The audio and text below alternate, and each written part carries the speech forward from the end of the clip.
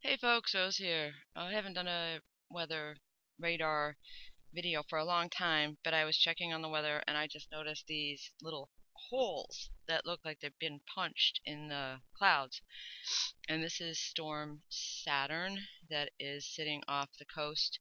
There's Boston and Rhode Island here. So this is out in the ocean. These black dots appear to be holes I'll zoom in on on them, see if I can get a little closer. I really don't think it's data error. They're odd shaped.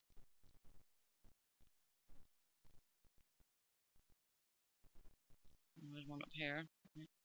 That one that one looks like it's filling back in already. Now we'll play the radar because it's only on for one frame of the radar that you can actually see these holes.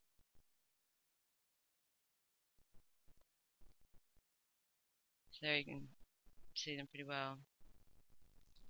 They actually go way out into the storm, way out over the ocean on the satellite view. Cloud cover. There's some actually over land as well. Now that I'm looking more at it. Hey, we got a nice little band of uh, nothing in there. Some kind of interference.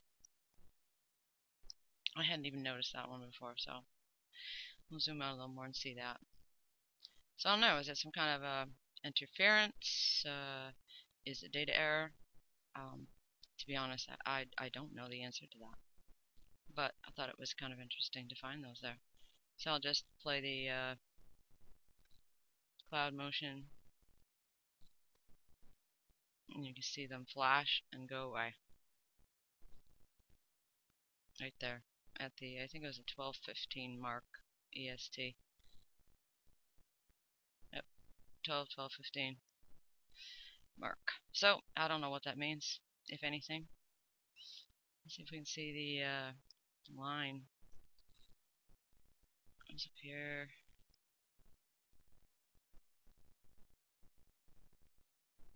There it is. That was also about the same time. Yeah. That makes sense. So it's starting to snow here, uh, a bit heavier. It was uh, not really snowing all morning, and now it is snowing. This little black dot is just the center of the uh, where the radar is set on the old Intellicast legacy map. And I'm down here. Can also see just uh, for your enjoyment all the um, RF or electromagnetic, I don't know which, waves that are being pushed into these clouds. You can see them in varying directions. Know, well, over the ocean these do form naturally, so don't know if those are natural or induced. Uh, yesterday I was watching them significantly being pushed uh, and, and really appeared to be moving the storms. So Anyway, we're only going to get 4 to 8 inches here, they say. So we'll see.